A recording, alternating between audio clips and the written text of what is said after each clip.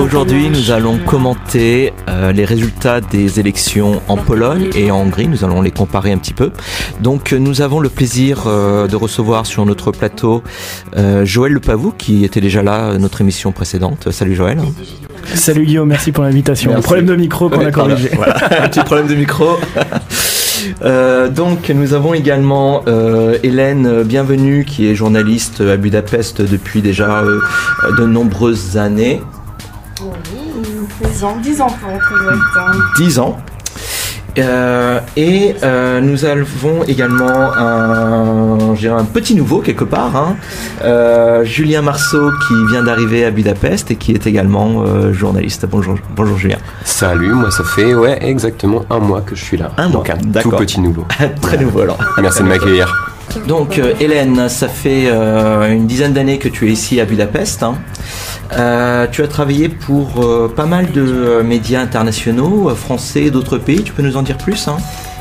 Oui, c'est ça. Je suis une freelance, donc je travaille pour plusieurs journaux, en français et en anglais. Euh, en français, c'est principalement à Budapest, c'est euh, euh, La Croix, euh, Le Figaro, un Mhm. sous pseudonyme, et puis. euh, on, on te comprend. C'est bon, tu t'es cramé, merci. au revoir. tu peux plus pas sortir. voilà. euh, puis euh, je- j'ai aussi travaillé pendant plusieurs années avec le New York Times Oui. ici à Budapest. Mhm. Pour la Pologne, c'est euh, c'est un peu plus occasionnel, mais c'est principalement pour euh, l'Echo, un journal économique euh, belge. D'accord, d'accord. Euh, toi de même, euh, Joël, tu as travaillé pour beaucoup de médias euh, français et internationaux. Tu peux nous en parler un petit peu? Je, ouais, je, je continue. Bah, disons, ça fait depuis trois ans que je suis le, la vigie, parce qu'on appelle ça comme ça, de Mhm. courrier international en Hongrie. Donc, je fais des traductions et des revues de presse euh, du hongrois vers le français. Ouais. Euh, je travaille aussi avec euh, Slate.fr, euh, Mhm. avec le, le, le- le quotidien régional de Telegram qui a des pages internationales, euh, et aussi de temps en temps avec le Temps, euh, quotidien suisse. Et Mhm. c'est d'ailleurs dans le Temps que j'ai signé un portrait euh, de Gergely Karácsony, donc le nouveau euh, maire de Budapest, intitulé euh, au moment où je l'avais écrit euh, Le vert qui rêve de ravir Orban, euh, enfin Budapest à Orban. Donc D'accord. finalement la prophétie s'est concrétisée. Ouais. T'as eu le, t'as eu le nez creux? Julien, tu peux nous dire un peu ce que tu fais euh, à Budapest? Et quels sont un petit peu tes, euh, tes projets? Eh bien écoute moi en général je suis un peu plus sur le format magazine. J'étais l'année dernière en Irlande encore à, traiter de ce fameux Brexit. Oui. Notamment pour M le magazine Le Monde ou Uzbek Erika. Mhm. Euh, D'ailleurs ce samedi euh, ça va être décisif mais bref c'est une autre Ouais, histoire. c'est vraiment une autre histoire. ouais. Et je m'intéressais, ça tournait un petit peu en rond Mhm. et en fait je m'intéressais euh, au pays de l'Est depuis un moment et j'ai décidé de mettre mon nez un petit peu ici en Hongrie, voir ce qui s'y trame. Voilà, mais avec un peu plus de recul en général, je suis moins sur de l'actu chaude que sur des sujets un peu plus froids en général. D'accord. Voilà. Ok, super. Euh, donc, euh, Hélène, euh, que peux-tu nous dire sur les élections en Pologne? Est-ce vraiment une victoire des conservateurs? Oui, alors euh, donc pour ceux qui, qui n'ont pas forcément suivi, euh, il faut savoir que ce dimanche a été un dimanche électoral Mhm. pour la Pologne Ouais. et la Hongrie et euh, que les enjeux étaient à peu près aussi importants Mhm. peut-être, Ouais. même si on joue pas sur les mêmes échelons de l'administration. Euh, en Pologne, c'était des élections législatives et sénatoriales, donc Mhm. puisqu'en Pologne, on a à la fois un parlement et un sénat qui Mhm. est élu par euh, les citoyens. Et donc, euh, donc c'est tous les quatre ans, et donc on était euh, après le premier mandat, le fameux premier euh, entre guillemets mandat du nouveau PIS, donc Mhm. le PIS, euh, ce fameux parti droit et justice, euh, de qui est mené par Jarosław Kaczynski, donc qui n'est que simple député, mais qui est en réalité euh, le chef, euh, on va dire, de, de l'exécutif. euh, voilà, le grand marionnettiste qui se cache derrière sa seule responsabilité de, Euh, pour, de les, député. euh, pour, pour les auditeurs qui connaissent pas, comment on pourrait décrire le, le PIS euh, vite fait en quelques mots Alors le PIS, euh, c'est c'est vrai que c'est un parti qui ressemble euh, assez au Fidesz. Par Mhm. contre, euh, Kaczynski et Orban ne sont pas du tout Ouais. euh, des personnalités euh, comparables. Mhm. Euh, mais pour ce qui est du PIS, euh, ben, la Pologne reste un pays quand même euh, Très très catholique. Mhm. euh, où l'Église a encore beaucoup d'importance, y compris en politique. Euh, donc c'est un parti euh, qui, qui est basé sur ces valeurs-là, Mhm. sur la- les valeurs de la Pologne traditionnelle, où il n'est surtout pas question de LGBT, euh, il n'est pas question de, de cyclistes ni de vegan d'ailleurs. Je Voilà. déteste les cyclistes également. Donc. voilà, tant que tant qu'à faire. Euh, mais donc c'est une, oui, c'est une Pologne ancrée dans la ruralité plutôt, même s'il y a un autre parti, un agrarien rural qui qui concurrence le PIS sur Mhm. ces fiefs-là.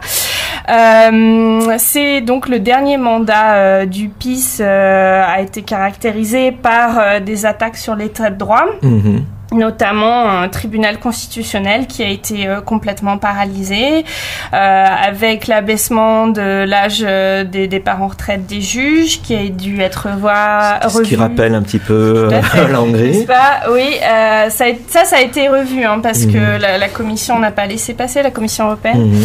Donc tout n'a pas pu se faire, mais, euh, mais déjà une grande partie de, des réformes, mais notamment euh, sur, le, sur la justice, euh, ils sont allés assez loin. Là, maintenant, Mhm. On a une chambre disciplinaire pour les juges. Euh, donc euh, c'est vrai que l'indépendance est, est quand même euh, mise en cause. Mhm. Euh, et avec ce nouveau mandat, euh, donc euh, puisque PIS a, gagné euh, les élections législatives, euh, on s'achemine vers des réformes encore plus euh, abouties, on va Mhm. dire, sur la justice. Si l'équipe au pouvoir a déjà eu l'occasion de le dire, ils n'ont pas fini leur réforme Mhm. sur la justice, en tout cas. Donc, euh, donc il faut s'attendre à ça. Euh, les experts penchent aussi pour euh, des, des futures attaques sur les médias indépendants. Mhm. Parce qu'il faut savoir que là, c'est peut-être la grosse différence entre la Pologne et la Hongrie. Bon, déjà, on parle de deux pays qui n'ont pas euh, le même, euh, la même population. Pologne, c'est quand même euh, 48 millions d'habitants. On a des grandes villes qui font office de contre-pouvoir, avec des villes qui peuvent dépasser presque le million d'habitants. Euh, donc comme Cracovie par exemple, où on a Poznań, on a Gdansk aussi. Euh, donc ces villes, elles sont en général euh, plutôt acquises à la cause de l'opposition. Et donc en Pologne, on a encore des médias indépendants. Je parle pas des médias de service public parce Mhm. que eux aussi, justement, sous le PIS, ils se sont fait complètement remanier. Et là, pour pour diffuser un discours propagandiste qui est à peu près équivalent à ce qu'on peut avoir en Hongrie. Mais en revanche, euh, le PIS n'est pas un comment dire un gouvernement qui repose vraiment sur des oligarques Mhm. qui sont des rouages d'influence économique et qui peuvent acheter des journaux. Ça, ça n'existe pas encore en Pologne. Donc, euh, on a beaucoup de journaux qui, qui paraissent encore en format papier. Donc, vous allez en Pologne, vous vous baladez, il y a des kiosques à journaux qui vendent des journaux d'opposition qui continuent de se vendre. Alors, Gazeta Wyborcza, mais il y a aussi Rzeczpospolita, il y a des grands magazines, euh, il y a aussi Tygodnik Powszechny, un hebdomadaire. Euh, bref, il y a vraiment, au niveau de la presse, euh, en tout cas, on peut continuer de s'informer. Il y a des reportages qui sont de qualité. et donc, donc là, en fait, ça, ça pourrait être un, un, un nouveau terrain d'action du, du PIS, donc, qui a qui a remporté cette élection. Ça, Euh, tu disais que ces élections été remportées par le PIS, mais cette victoire n'est pas aussi claire que ça. Mhm. Alors, euh, ben, le PIS, en fait, euh, c'est à peu près le, le même nombre, enfin, c'est- ça, ça varie pas tellement par Mhm. rapport à il y a 4 ans. Euh, ce qui change, euh, c'est qu'on a en fait, euh, là, donc, euh, pour, euh, pour ce qui est du des mandats et des pourcentages, donc pour là je vous les donner rapidement, euh, on- le PIS est à 43,6%. Euh, Donc, ce qui fait 235 sièges Mhm. au Parlement. Et la grande coalition euh, d'opposition qui rassemble euh, le fameux parti de, de Donald Tusk, euh, qui est donc la plateforme, euh, Obi- plateforme citoyenne, coalition citoyenne, elle, elle remporte 134 sièges avec 23, 27,4%. Mais Pour, là, pour- pour, nos, nos- oui, pour, pour nos éditeurs, donc euh, tous, c'est plutôt euh, la gauche euh, libérale, quoi. C'est pas vraiment la gauche, hein, c'est les libéraux polonais. c'est les libéraux. euh, Ils sont un peu moins cléricaux, Oui, encore uh-huh, que hein, ça leur arrive de voter des lois euh, anti-avortement. tu, tu les euh, cla- euh, classifierais comment? C'est le centre droit un peu ou c'est un peu difficile à classifier ouais, comme ça? Ouais, plutôt ça. Ouais, mais ils sont Conservateurs assez- modérés peut-être? Ouais, assez libéraux quand même, Mhm. euh, au niveau, en tout cas au niveau économique.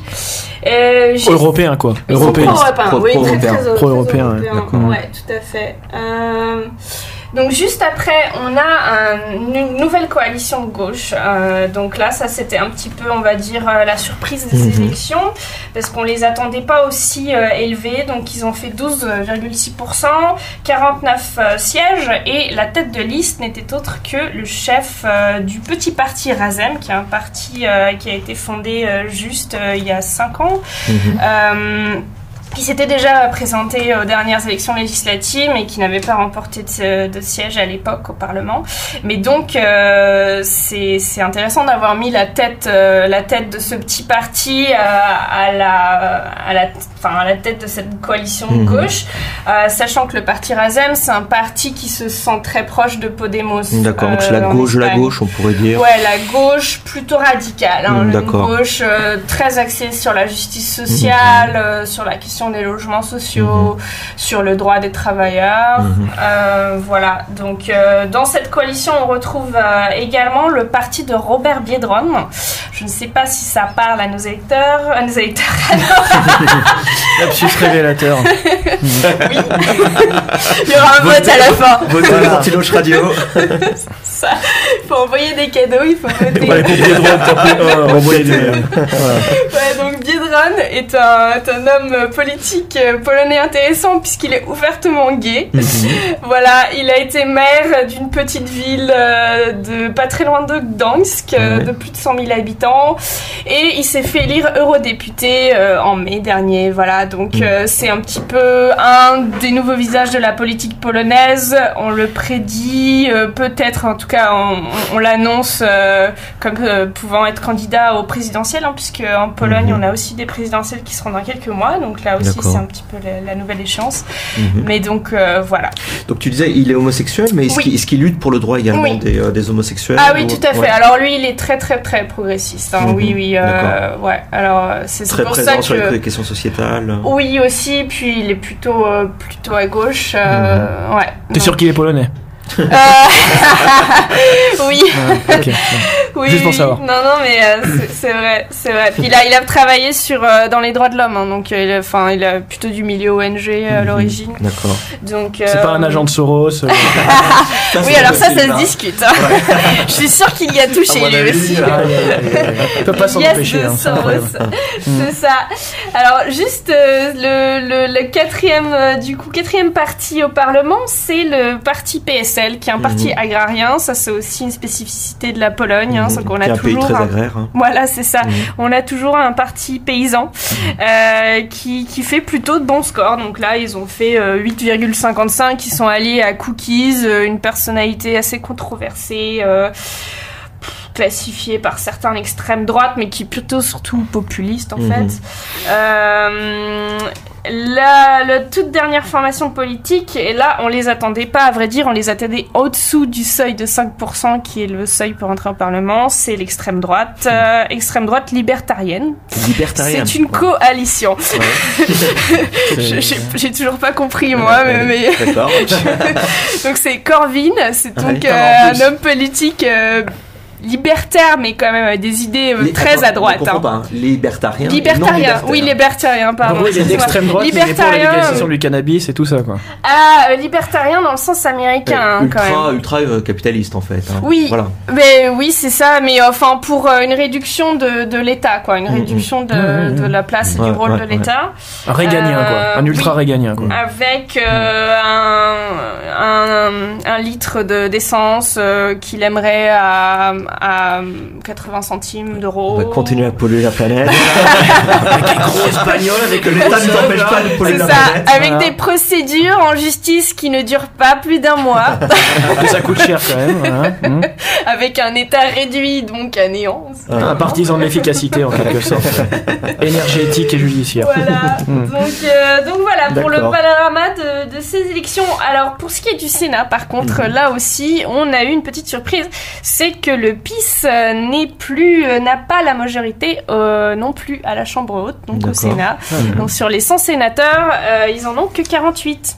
D'accord. Voilà, donc le reste, le reste sont des sénateurs euh, de l'opposition de- et des indépendants, dont une qui est on sait qu'elle va défendre, défendre la cause du PIS, mais le reste des indépendants euh, risque de défendre la cause de, de l'opposition. Donc qu'est-ce que ça veut dire? Ça veut dire qu'ils ils seront obligés de faire une sorte de coalition ou euh, Alors, ben des oui, compromis avec l'opposition? toutes les questions sont un peu ouvertes là-dessus. Euh, Qu'est-ce qui va se passer? Euh, bah, Sachant que l'extrême droite n'est pas au Sénat, ça va être difficile de savoir avec qui ils vont pouvoir vraiment faire de coalition. En tout cas, ça veut dire que hum, ça va quand même ralentir leurs ardeurs parce qu'il faut que le Sénat euh, valide les lois qui sont votées d'abord euh, en Parlement.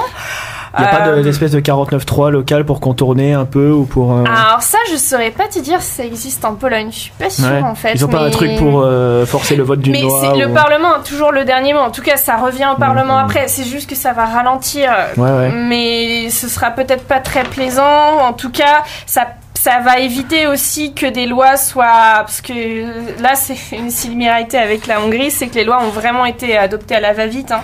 Donc euh, en quelques heures, parfois la nuit, euh, votées par le Parlement et hop, tout de suite ça passe au. Sénat pour que. Puis tu disais qu'ils ont réformé la Cour constitutionnelle, c'est ça Ouais. euh, donc, euh, donc en quelque sorte, ils ont les juges un peu sous leur, Mhm. sous leur coupe, quoi. Donc euh, Ouais, finalement, oui, euh, je sais pas si ça va ralentir autant que ça l'adoption des réformes, quoi. Mais, euh, disons que le Sénat permet aussi de, de, de nominer un certain nombre de, de personnalités euh, qui ont des, des hauts représentants, Des de notamment sages, des trucs comme ça, quoi. Ombudsman, le, Ouais, le- médiateur. Ouais, le médiateur qui est quelqu'un qui, a un poids, enfin un poids en tout cas, euh, qui est, qui est quand même euh, assez euh, important, une ouais. importante en Pologne, euh, et qui est donc Adam Bodnar, qui est euh, une bête noire en fait hein, de, du, du gouvernement sortant actuel, hein, puisque le gouvernement va, risque d'être conduit. C'est un peu comme euh, Kodo. Trakeveci en Roumanie ou euh, c'est. euh, Euh, oui, mais disons que euh, ils aimeraient bien pouvoir mettre quelqu'un d'autre. Mmh, mais, euh, oui. mais comme la nomination, maintenant, il va falloir qu'elle passe par le Sénat, ça va être plus compliqué. Plus compliqué. Et, et quelle, quelle image générale tu donnerais? Tu, tu dirais que c'est un petit peu euh, le début de la fin pour le PIS ou c'est plutôt une sorte de stagnation euh? Ah Bah, disons que ils sont, on peut pas dire que ce soit vraiment le début de la fin, hein, parce Mhm. qu'ils sont quand même, c'est une nouvelle victoire, il Ouais. faut pas, faut pas le nier, mais c'est peut-être pas la victoire eux-mêmes, ils s'attendaient à mieux en Mhm. fait. Euh, puis Kaczynski l'a dit, euh, on a encore euh, du travail parce que visiblement il y a des gens qui sont pas convaincus. Pourtant, on avait tout sur la table. Effectivement, ils ont multiplié les promesses, mais On a bousillé les lois, mais ça c'est pas passé. Voilà. Ok, très bien. Donc, donc Joël, qu'est-ce que tu dirais toi sur la Hongrie Donc ces élections municipales sont plutôt positives pour l'opposition. Le, le Fidesz pensait euh, évidemment euh, avoir une victoire euh, plus claire au municipal. Donc euh, Bah, je vais te donner un chiffre qui a peut-être été peu évoqué, mais Mhm. c'est que le Fidesz en fait conserve la majorité des, conserve- des, conseils, des conseils régionaux, c'est-à-dire Ouais. les 19 sur 19. mhm. Euh, à savoir que euh, quand euh, Hélène euh, tout à l'heure parlait d'un parti agrarien, on pourrait presque dire que c'est le Fidesz maintenant, puisque Mhm. le Fidesz est devenu littéralement le parti des campagnes et des petites gens. Mhm. Euh, puisque quand tu regardes les scores, tu comptes, enfin ou les scores ou les, les résultats, tu vois que 10 des 20, des 23 plus grandes villes de Hongrie, donc ce qu'on appelle les villes de droit comital, Megegyogú Városok, euh, ont été euh, reprises euh, par l'opposition au Fidesz, mais que quand bien même le Fidesz reste ultra majoritaire dans les campagnes, d'où le sens de la une du, du de l'hebdomadaire de cette semaine en Hongrie qui parle, disons, de d'urbain et d'urbanisme, en tout cas d'une opposition des villes et des urbanistes des champs. Mhm. puisque en fait quand on quand on quand on regarde la, la, la, la, la cartographie la géographie politique de ces élections on voit bien que le Fidesz est dominateur hors des agglomérations et que euh, dans les agglomérations il y a eu un reflux euh, assez sensible du Fidesz. Euh, pour te donner- pour te donner un chiffre très parlant sur les cinq premières villes de Hongrie donc en l'occurrence Budapest Debrecen Pécs euh, Szeged et la cinquième et Miskolc, voilà, et ben quatre ont été euh, prises, Mhm. reprises par l'opposition. Il n'y a que Debrecen qui est resté, qui est resté Fidesz relativement largement, et puis quand même Debrecen c'est quand même le bastion euh, de Lajos Kósa qui est euh, l'un des vice-présidents du Fidesz, donc une des grosses voix du Ça aurait Fidesz. Voilà, ça aurait fait un petit peu tâche qu'ils perdent Debrecen aussi, ils, ont Ouais. déjà, ils ont déjà perdu quelques plumes. Mhm. Euh, pour autant, euh, je dirais que euh, on, parle d'une percée de l'opposition, mais pour moi c'est plus un rééquilibrage qu'autre chose. hein. C'est Mhm. une thèse qui est partagée, partagée par l'ensemble des, des journalistes français et francophones qui travaillent ici en Mhm. Hongrie. Euh, l'alliance, la, coalition qui, qui s'est montée, justement cette coalition un petit peu inédite, hein, qui, a, qui a fait largement polémique, puisque... Pourriez nous en quelques mots nous, nous parler de cette alliance J'allais- assez j'a- incroyable ouais. J'allais j'allais y venir, en fait, c'est surtout la composition de l'alliance qui a, qui a fait polémique, Mhm. puisque elle, euh, elle se situait des socialistes, donc du Mhm. MSP, euh, jusque dans la plupart des villes, pas dans toutes les villes, mais jusqu'au Yobik, Mhm. donc c'est-à-dire une, une l'ancienne extrême droite repentie, recentrée, qui euh, pour le coup maintenant se situe à gauche du Fidesz sur l'échiquier Mhm. politique, donc qui incarne plutôt une droite conservatrice classique, euh, bien plus à gauche maintenant, en tout cas sur la plupart des thématiques qu'elle qu'elle défend, que le Fidesz d'aujourd'hui, qu'on pourrait presque considérer d'extrême droite si on euh, se, se fiait à une vision plutôt, plutôt euh, française euh, de, de, Mhm. de l'échiquier politique. Euh, mais euh, ce qui est intéressant, c'est d'une part le cas de Budapest, Mhm.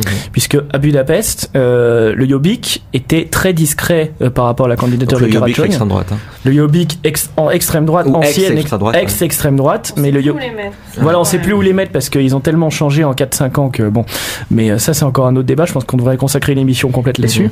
Euh, le Jobbik, en fait, quand, quand, quand tu regardes les affiches de campagne de Karadzic à, à Budapest, donc du nouveau maire, Gal- Gal- Karadzic, il n'est pas présent sur les affiches. Mais pour autant, à la mairie centrale, le Jobbik n'a pas présenté de candidat contre Mhm. Karadzic. Bon, évidemment que si le Jobbik avait présenté un candidat, à mon avis, il se serait lamentablement planté parce qu'à Budapest, ils sont extrêmement faibles. Mhm.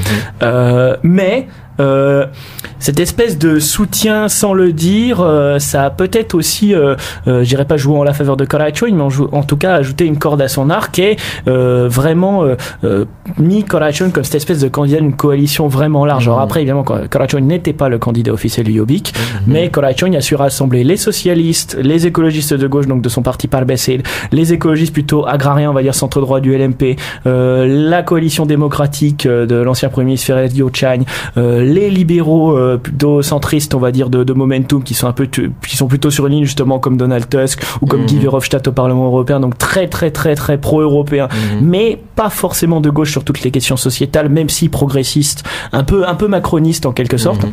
Oui, il se revendique de Macron, non? Oui, Assez oui, ah, bien ouvertement, sûr, hein. bien sûr, bien sûr. Puis je l'ai rencontré plusieurs fois. Bon, Mm. ça, ça, ça, c'est même pas la question. Euh, mais euh, je dirais que s'il faut retenir quelque chose de, de, de ces municipales, c'est que c'est quand même cette histoire à gueule, puisque euh, euh, pour les auditeurs qui ne seraient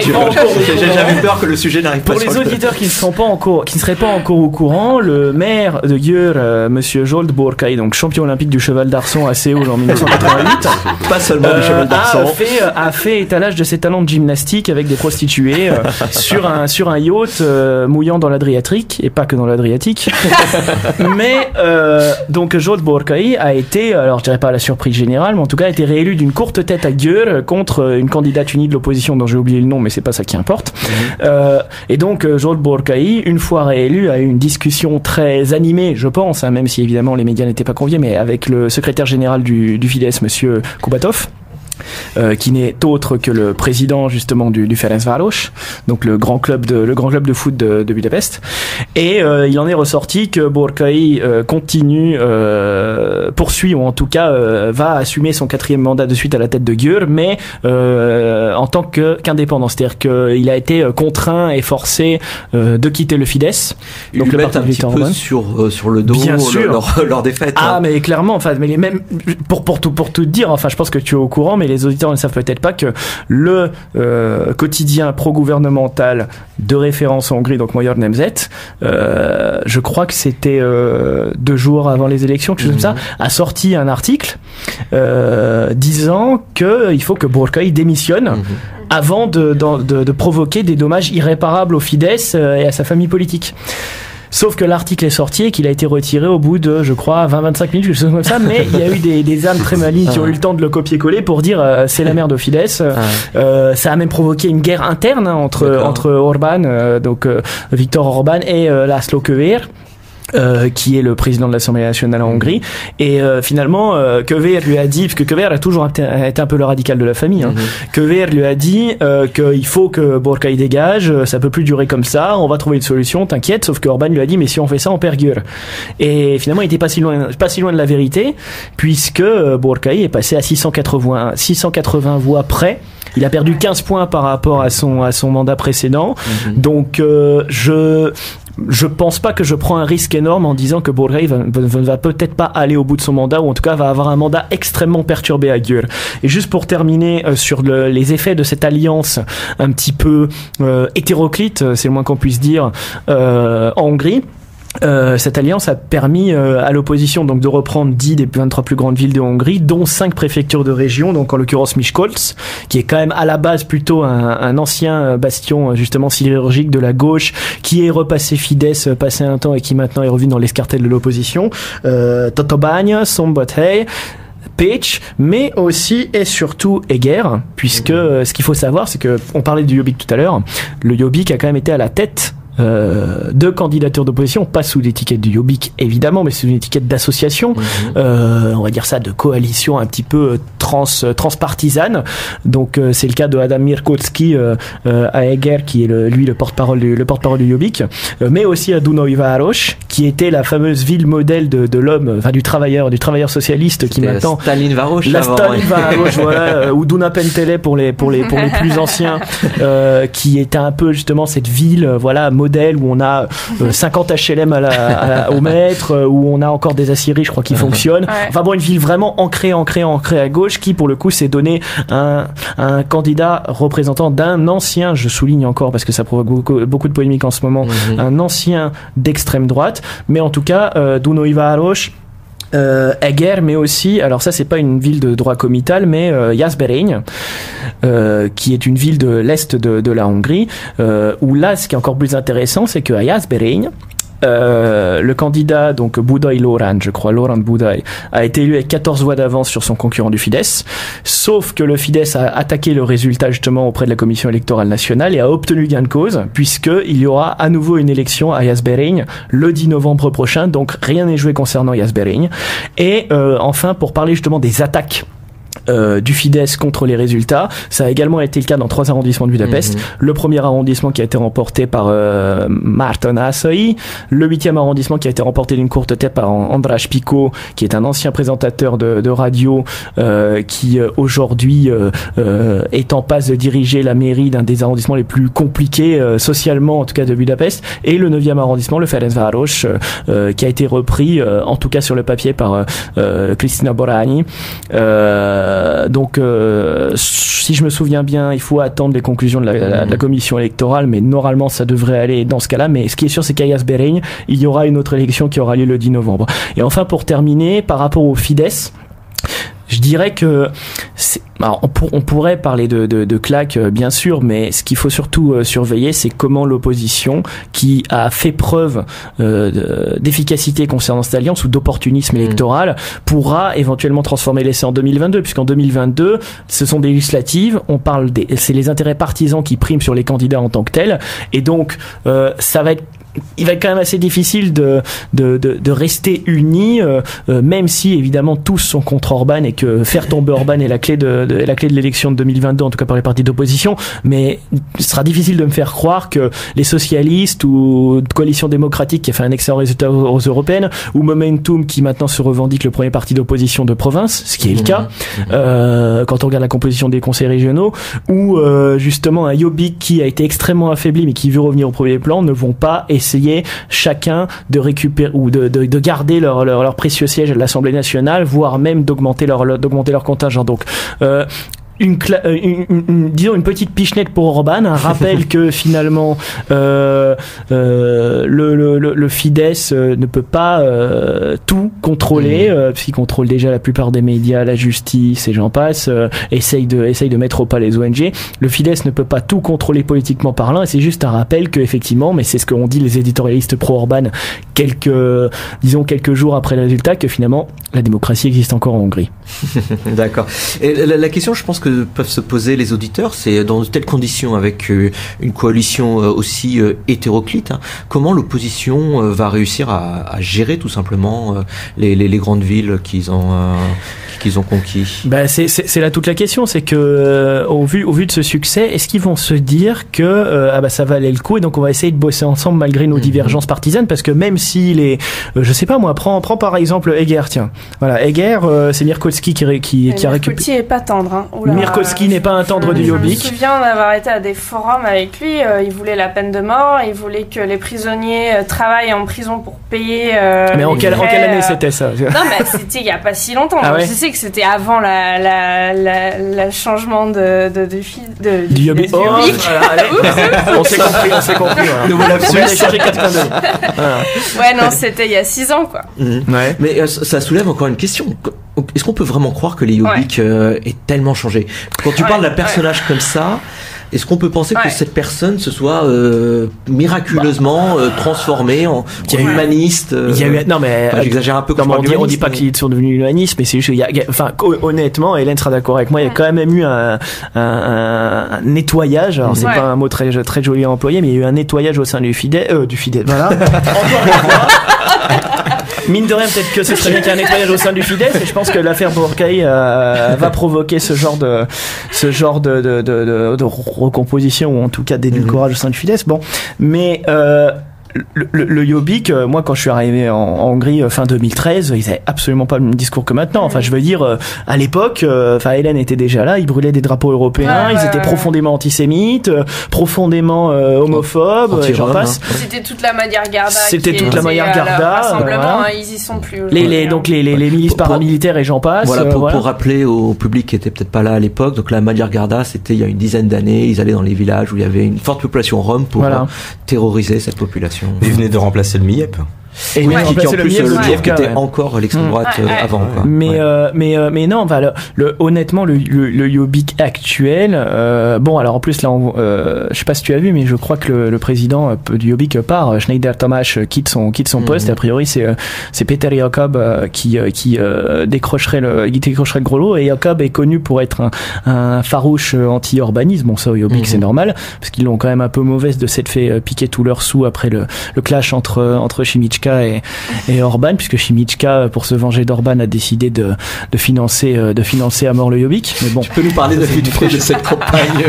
Non mais, dis- dis- non, mais disons que dis- disons qu'en fait Chimichka c'était euh, pour la faire courte euh, l'oligarque euh, préféré d'Orban. Mhm. euh, ils se sont enrichis ensemble. Euh, c'était le c'était un peu le le, le, le, grand penseur euh, à l'époque à l'époque du, du Fidesz. Enfin il y avait Lajos était toujours quelque part voilà. Enfin c'est ce que c'est ce que se dit souvent Orban qu'il y avait toujours Lajos dans un coin et que voilà. Euh, et après Ça a été euh, l'argentier quoi. En dehors de Georges Soros au début mais ça c'est une autre histoire. Euh, Lajos a été euh, l'argentier euh, du Fidesz ou en tout cas l'entrepreneur de base qui Mhm. s'est enrichi euh, grâce à ses contacts avec le Fidesz. Maintenant c'est le Insmei Sarosh qui assume cette charge mais euh, au moment où, euh, où Chimichka et Orban euh, se fâchent, quand euh, quand euh, quand Chimichka euh, dit qu'Orban est un bon on pourrait dire un, je sais pas un sperme, un connard, un, Tache de sperme. voilà, une tache de sperme, un. Getsi, voilà, c'est ça, du foutre en quelque sorte. Et euh, à partir de là, bah, disons que le Fidesz a coupé les vannes littéralement à Chimichka, il a perdu tous ses contrats ou presque, Mhm. et euh, maintenant, alors, euh, je pense pas qu'il soit au bord de au bord de la ruine ou de la Non, faillite. je Je m'inquiète pas trop pour lui, peut-être un peu plus pour sa santé vu son Ouais. poids, mais ça c'est autre chose. Euh, mais, euh, mais mais mais euh, mais euh, depuis, mais Chimichka pour se venger en Mhm. quelque sorte a décidé de mettre de pas de faire un pari qui s'est avéré foireux sur le euh, Mhm. en, en 2018 puisque le, le Jobbik n'a pas fait mieux que les que les 20% des élections précédentes et euh, à partir de là bah finalement le Jobbik est un peu parti à volo et le Jobbik était en mars euh, sur le point de disparaître puisqu'ils avaient des euh, des procédures de la comment on appelle ça la mise que c'est le le ah le le c'est un peu c'est pas le parquet mais c'est en gros c'est le parquet financier voilà. Le Mhm. parquet le parquet le parquet financier qui a lancé des lancé des enquêtes contre Jobbik pour financement illégal de campagne électorale et j'en passe. Donc le Jobbik n'est pas encore tiré d'affaire et je pense que justement euh, dans les villes devenues entre guillemets Jobbik comme euh, ou comme Eger ils ont tout intérêt à, à gérer euh, gérer la gérer la municipalité en bonne intelligence avec l'opposition. S'ils veulent pas euh, se retrouver ou en tout cas s'ils veulent essayer d'échapper à, leur, à leurs soucis financiers et trouver de nouvelles sources pour euh, pour continuer à exister durablement Et, que- comment le Fidesz voit cette coalition Est-ce qu'il ricane en se disant euh, bon ça ça va jamais tenir euh, dans, dans, dans quelques mois ils vont ils vont s'entretuer C'est ce que euh, c'est ce que c'est ce qu'on serait tenté de se dire Ouais. nous aussi hein, que, que finalement ça paraît tellement euh, énorme sur le papier que Mhm. que qu'ils risquent de, de, de, de se foutre sur la gueule à un moment ou un autre. Bon, on verra. Euh, en 2014, il y avait une coalition législative Euh, à l'époque, c'était les socialistes, euh, les libéraux. Il y avait qui encore? C'était Daria Meshterhazi. Il y avait les socialistes, les libéraux, euh, Boynay. Donc de, c'était à l'époque, c'était Egdut. enfin bon, il y avait une coalition comme ça, sans Liobik évidemment qui avait son propre. Mais il y avait déjà une tentative comme ça. Il y avait cinq partis, je crois. Mais bon, ça a fait 25% à l'arrivée. Donc finalement, le nombre ne fait pas forcément la force. C'est juste que là, le contexte, l'affaire Borkei, euh, l'hégémonie du Fidesz qui a pu en, qui a pu en, en, en froisser certains, et puis la mobilisation des électeurs d'opposition qui se sont dit que là, il y avait une chance de, de bouleverser un peu cette hégémonie du Fidesz, a fait que l'opposition a pu récupérer de nombreuses grandes villes, dont Budapest. Mais je pense que c'est symbolique évidemment, mais ça, ça, redonne quand même du moral un peu aux troupes, mhm. parce que honnêtement, vous, si vous n'êtes pas d'accord, mais euh, je pense que la, la, Hongrie un peu libérale, progressiste et compagnie était en, en forte dépression après les les, dernières législatives. C'était quand même. C'est une victoire euh, psychologique, on peut dire, hein, bah oui, Enfin, j'avais l'impression que tout, toutes les personnes que je connaissais qui bossaient en ONG étaient en burn-out ou en train de déménager à l'étranger. Enfin, il y a la plaque qui sont partis. Hein. ça semblait quand même une hécatombe. Hein. Mais d'ailleurs, en Pologne, j'allais te poser la question comment, comment, comment a réagi justement, j'allais dire l'intelligentsia progressiste parce que on voit quand même que même si c'est pas une victoire énorme du PIS, puisque tu me dis que les scores sont à peu près identiques à il y a 4 ans, mhm, mhm. euh, l'écart est quand même assez important. Ouais, bien sûr. Comment, comment, comment que ça se passe là? Bah, Je t'avoue que c'est une ambiance euh, pas terrible un dimanche soir dans les rues de hein. Varsovie. Effectivement, euh, je pense que c'est l'incompréhension qui domine chez les électeurs qui mhm. n'ont pas voté pour le PIS. Euh, bah, L'incompréhension mêlée à aussi une certaine compréhension des événements, parce que le PIS s'est mis à faire du social. Le PIS s'est mis à faire ce que aucun parti en Pologne, même à gauche, n'avait osé faire, mhm. c'est-à-dire une espèce de redistribution sociale pas forcément sur des, sur des fondements de, de justice sociale d'ailleurs. Pas des chèques cadeaux à la Orban un peu bah, Plutôt si, du bah, justement, tu, vois, les, les, allocations familiales qui ont été mises en place par le, par le PIS, le fameux, tout de suite après être élu, hein, quelques mois après, ils ont, ils ont effectué, le, ils ont réalisé leurs promesses. Euh, et c'est les fameux PN 7 Plus, les 500 zloty euh, dès le deuxième enfant qui a été aujourd'hui euh, généralisé dès le premier. C'est-à-dire qu'aujourd'hui en Pologne, vous avez un enfant, vous recevez tous les mois systématiquement jusqu'à son 18e anniversaire anniversaire, l'équivalent de 120 euros par mois. Par enfant. Par enfant. Pas mal. Donc, euh, donc c'est vrai que c'est un chèque cadeau. C'est enfin un chèque cadeau, oui. Ah, c'est un don, enfin c'est un cadeau. mais, du coup, c'est vrai que après, les, les, les, milliardaires n'ont pas forcément besoin de cet argent et ils le mm. reçoivent aussi à tout. Mm. Enfin voilà. Donc euh, donc c'est c'est ce genre de, de mesures. Puis là, alors PIS juste avant les élections et juste avant les européennes aussi, euh, ils ont vraiment vraiment multiplié les promesses avec un SMIC à quasiment 1000 euros euh, brut euh, d'ici 2023. Euh, c'est réalisable C'est demain. Hein. Bah, tout est, la question c'est là parce que la Pologne comme la Hongrie, c'est des pays qui sont des pays manufacturiers de l'Allemagne et qui fonctionnent leurs économies, qu'on le veuille ou pas, elles fonctionnent sur une main d'œuvre qualifiée, pas chère. Mm. Donc euh, là, en Hongrie, c'est exactement la même question. Hein. Les salaires ont commencé à augmenter de manière artificielle par Orban. Euh, discuter avec des entrepreneurs qui vont vous dire, bah moi, euh, non, je, je, déménage en Tunisie demain. Donc mm. c'est un peu, ouais. D'un mot justement, cette question d'augmentation des salaires et de, de, cette dépendance par rapport à l'Allemagne, c'est ce qui a structuré justement la gauche enfin la gauche et le Yobik à l'époque, mhm. puisque c'est ce fameux mouvement contre la loi dite esclavagiste euh, de l'hiver dernier. Donc pour rappel, euh, la loi esclavagiste, en quelque sorte, on l'appelle comme ça dans l'opposition, euh, c'est une loi qui permet, qui donne la possibilité aux employeurs euh, de l'industrie, hein, voilà, mhm. ça peut être automobile ou autre, d'imposer jusqu'à 400 heures supplémentaires par salarié payables dans les trois ans. Donc alors évidemment, ce n'est que sous condition du volontariat et j'en passe. Enfin, ça a été en tout cas présenté comme ça dans la mhm. loi, mais c'est un, c'est c'est un texte qui a vraiment été le, catalyseur euh, de ce rassemblement d'opposition parce que mmh. quand tu regardes, enfin, je veux dire, euh, même au moment des législatives, euh, les, socialistes, les DK et autres étaient tous chacun dans leur hein. couloir et, ne, eux, bien sûr, tous, ils voulaient tous la même chose. En fait, ils voulaient se mmh. débarrasser d'Orban d'une manière ou d'une autre, mais c'est finalement la leur division qui a permis à Orban de récupérer les deux tiers. Mmh. mais quand tu quand tu regardes finalement que tu avais des tu avais des Jobbik, tu avais des MSP, tu avais des DK, tu avais des Momentum qui étaient dans la rue ensemble contre Orban et pas qu'à Ouais. Budapest. Ouais, Dans ouais, les, ouais. dans les dans les grandes villes Ouais. de province, ce qui est quand même relativement inédit. Euh, moi, moi en tout cas, de- de- depuis que je suis arrivé en Hongrie, j'ai jamais vu une opposition unie dans la rue. Ouais. Euh, là, pour la première fois, on voit une opposition qui est unie dans les urnes de la gauche à l'ancienne extrême droite, et c'est vraiment justement cette question de la loi Escavagis qui a été vraiment le déclencheur. Donc, je sais pas si en Pologne euh, il y, a, il y aura pas, euh, par exemple, un, un texte comme Ouais. ça, une tentative de réf- une réforme entreprise par le PiS qui va mobiliser l'opposition, mais ça Ouais, en- pourrait en, tout éventuellement. cas, c'est euh, sûr qu'en Pologne, si tous les, les partis de l'opposition démocratique euh, voulaient se, ré- se réunir, là, euh, ils ont fait plus de plus de pourcents que, ouais, donc, euh, que le PIS. Est-ce que tu dirais que c'est un peu la, la même problématique, c'est-à-dire que euh, mathématiquement. Ouais, c'est la euh, même, euh, c'est la fameuse euh, Mhm. ronde, euh, la règle de ronde. Donc c'est Ah. les mêmes, hein, les mêmes règles en, euh, pour le- la répartition des Mhm. sièges euh, en fonction du nombre de voix. D'accord. Ju- Julien, tu voulais ajouter quelque chose hein? Oui, à, propos de Gueule, justement, je sais pas si vous en avez entendu parler, de la mobilisation, j'attends de voir les prochaines semaines, parce que j'en discute avec une Hongroise qui habite euh, donc la capitale, mais qui va justement retourner, euh, elle est originaire de là-bas, ah ouais. pour manifester, effectivement. Ah Est-ce que vous avez eu des, des échos là-dessus? Eux sont vraiment, enfin j'en discutais avec elle, il y a vraiment... Yeah. Euh, vraiment un souci qui s'est posé parce qu'il a été réélu et c'est- Ouais. Bah, Voilà, il y a, eu, il y a eu une manif, euh, il y a eu une manif, Ouais. je crois deux jours avant, deux jours avant l'élection, euh, justement à Győr, et c'est c'est la première fois euh, qu'on voit qu'on voit des gens se bouger comme ça à Győr. Et je pense que même si euh, Burkai a été réélu de justesse, euh, bah, c'est un peu comme cette histoire de l'OS Cavagis qui a permis de relier euh, des, des, Mhm. des, des Mhm. contraires ou en tout cas de rallier l'ensemble de l'opposition contre contre Orban et contre l'injustice, enfin contre l'incarnation de l'injustice sociale qu'il représente. Euh, à euh, clairement, Győr justement c'est le cœur de l'industrie allemande puisqu'on en parle. Győr c'est Mhm. Audi, euh, Győr c'est une ville extrêmement dynamique. Győr c'est un petit peu une des capitales de l'ouest de la Hongrie.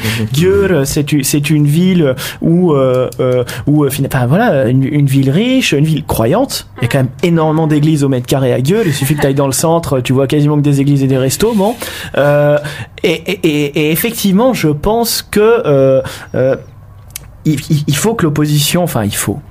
Moi, je n'ai pas de conseil de l'opposition, mais l'opposition euh, devrait se servir de ce signal électoral qui a été envoyé pour euh, éventuellement essayer de transformer l'essai en 2022. La question, c'est sous quelle forme? Mais euh, le, le, dirais pas la révolte, mais en tout cas le, le, le contrepoids part de la province. C'est-à-dire que là, tu avais une situation où euh, tu avais, eh ben, euh, c'est facile, euh, 10, 23, bah, je crois que toutes les, toutes les grandes villes, 21, je crois 21 des, 21 des 23 plus grandes villes étaient contrôlées par le Fidesz.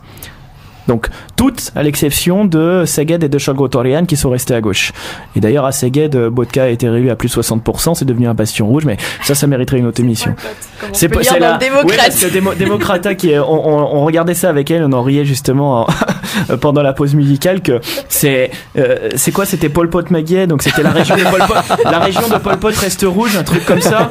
Voilà Pol Pot Maguet Veroshmorad. Et ça c'est un hebdomadaire profiles qui le dit, donc en fait ils ont un peu les boules de ne- parce que c'était un objectif hein, de, C'est vraiment indécent d'écrire ça. Non, mais- je, je comprends pas. Ah, c'est la liberté d'expression. Ouais, c'est la Voilà. liberté d'expression. Au moins, au moins ils disent pas, ils disent pas vive les nazis et j'en passe. Bon, on est, on est pas au niveau des États-Unis, mais, euh, Bah, mais c'est- news. Mais ça, c'est. on parle quand même de quelqu'un qui a fait un génocide, hein, mais Ouais, bon. bon. Oui, mais c'est bon, tu sûrement. euh, Ouais, mais bon, on a C'est loin, ça nous affecte les, les réductions à titre voilà, c'est relativement courant. Mais, euh, mais bon, euh, tout ça, tout ça pour dire que oui, effectivement, Győr, euh, ça peut devenir une, une nouvelle, euh, un, nou- une nouvelle, euh, un nouveau point stratégique à Mhm. conquérir pour l'opposition, parce que finalement, Bourkaï, comme je disais tout à l'heure, va avoir un mandat extrêmement compliqué à venir.